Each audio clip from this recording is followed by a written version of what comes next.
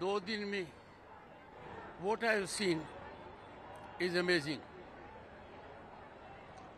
People of West Bengal have so much love for sports. They have great sportsmanship. I saw it yesterday and today. Eden Gardens will inspire everyone who believes in sports. And Bengal is known for sports all over the world, football and cricket in particular. I was very happy and delighted to be here. The participation of audience, their love for sports, their discipline was amazing. Sir, you enjoy the crowd, sir. Absolutely. Sir.